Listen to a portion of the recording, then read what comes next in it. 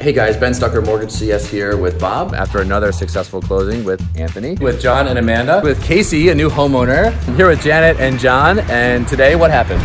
We closed on the house. We closed on a house. First home. First home. Very cool. What do you have to say about your Mortgage CS experience? I mean, it was one of the easiest things I've ever done. Very efficient, quick, always accessible. Weekends, evenings, I had a question, you answered it right away. So how did you find out about Mortgage CS? Can you Uh, share a I little was bit. referred to a friend, uh, you know, a realtor friend of mine, and then I got in touch, and at this point I feel like we're friends. So, We could be friends. yeah, we can be friends. We're friends. definitely friends. a friend of a friend introduced us, uh, and then from day one, Ben was just so helpful with giving me information, explaining the whole process. When it comes time for another loan at some point in time, is it Mortgage CS? Is it maybe shop around, or what do you think? Well, it's definitely you. Yeah. Mortgage CS. At the end of every video, I do a high five. Okay. So we have to do a high five now. Are we lefty or righty? Lefty.